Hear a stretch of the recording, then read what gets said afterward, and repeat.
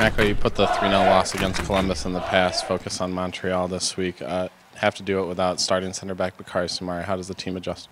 Uh, we have a few options. Obviously, Hunter played there in Kansas City, and we, we got a result on a, on a big game in that night. And, uh, you know, we put Jeff there the other day, and he did a, did a real nice job there. You know, thing with Jeff back there, he's played there in his college days, so it's not like he's unfamiliar with the position. Um, so we've got two very good options. We'll, you know, whatever the, uh, the moment dictates, we'll, um, we'll figure it out by that point.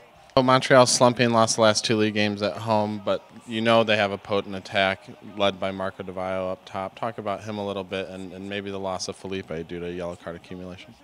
Yeah, look, I think it'll hurt him without Felipe, but obviously Marco Di Vaio is a quality player, played in a high level in Italy. So, you know, we got to make sure we know where he's at. They've got other weapons with Arnaud and Mapp and Romero, and so it's going to be a difficult game. You know, every game's going to be tough, and uh, you know they're coming off a good result the other night in Montreal and a CONCACAF win there, and I think they, you know, last five games are two wins, three losses. So you know, I think they wanted to put the the ship in a win the other night and move move forward, and I think they did that. So it's going to be a tough game. You know, we know what's at stake, and I think they know what's at stake, and you know they got a pretty good attack. We just got to be good defensively. Talk about how tight the Eastern Conference races, and how do you, as coaches, prepare your team each week, knowing you could move up or down uh, the way you guys have? Yeah, I think you know it's where we want to be. You know, we started out the year two seven and two. Uh, you look at them; they started out, I think, six two and two.